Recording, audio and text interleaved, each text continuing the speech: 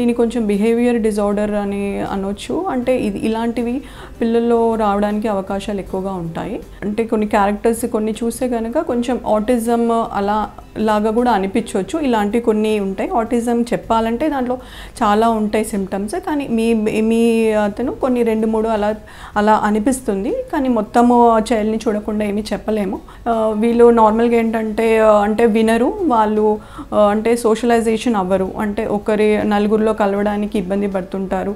ఒక ఒకటి చెప్తే ఇంకోటి చేస్తుంటారు. అది చేసింది కూడా రిపీటేటివ్గా చేయొచ్చు. విన మనం చెప్పింది వినరు. కరెక్ట్గా ఐ కాంటాక్ట్ ఉండదు. స్మైలింగ్ చేయరు. ఇలాంటి కొన్ని బిహేవియర్ డిజార్డర్లో ఉండడానికి ఛాన్సెస్ ఉన్నాయి.